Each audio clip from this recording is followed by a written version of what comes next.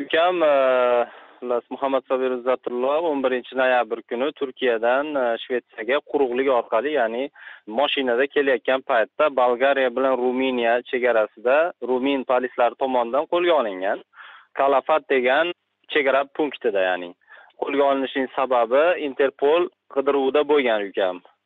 Interpolga o'zbekiston e, hukumati berganligini sababi ukami ikki ming beshinchi yil o'n uchinchi mayda bo'lgan andijonda bo'lgan to'polonlarda aybdor deb shu sababli qidiruvga bergan. Va shu qidiruv ya'ni e, shuncha yildan beri e, kuchda ekan. Shu sababli qo'lga olinib hozir e, o'sha ruminiyani kroyva deganmi qandaydir bir shahrida o'sha qamoqda saqlanyapti.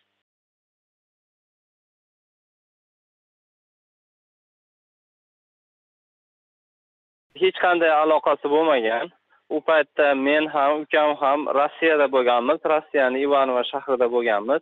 Meni bilishimcha biz andijonlik bo'lganligimiz bo'lsa kerak deb o'ylayman. Aybimiz bizga ham shu ayb e, tirkalib biz ivanova o'zbeklari ishi bilan ya'ni matbuotda keng yoritilgan bu shu ish bilan e, rossiyada yigirma bir oy qamoqda o'tirib chiqqanmiz.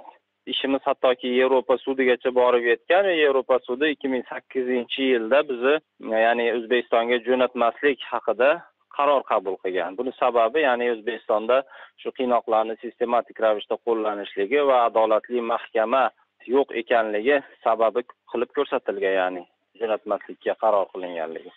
Shundan keyin rossiya sudi ham bizni ozod qildi va shundan keyin ukbon orqali biz shvetsiyaga ikki ming o'ninchi yilda yetib kelganmiz. Va ikki ming o'n beshinchi yilda men ham ukam ham shved fuqaroligini olganmiz ya'ni e, shved pasportini olganmiz. Unda ham menda ham shved pasporti bor.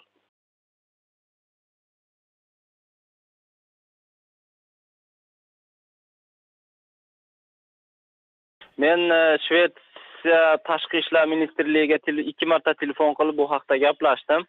Ular e, buxarestdagi shved elchixonasiga bu haqda xabar berishlarini aytishdi va kerak bo'lsa men bilan e, telefon orqali bog'lanishni va'da qilib telefon raqamimni olib qoldi. Lekin hanuzgacha bir xabar bo'lgani yo'q ya'ni telefon qilmadi.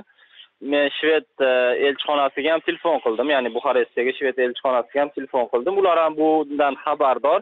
Lekin ularni aytishi bo'yicha ular tashqi ishlar vazirligidan bir e, ruxsat bo'lmaguncha bu ishga aralashisha olmas ekan. Ya'ni tashqi ishlar vazirligi qandaydir bir sanksiya berish kerak. Ya'ni borib uni ko'rishmi yoki bo'lmasa o'sha yerdagi rumin hukumatidan bu haqda bir qandaydir bir so'roq savollar qilishmi? Nima uchun bizni grajdanimizni qamoqda ushlayapsizlar degan ma'noda yani.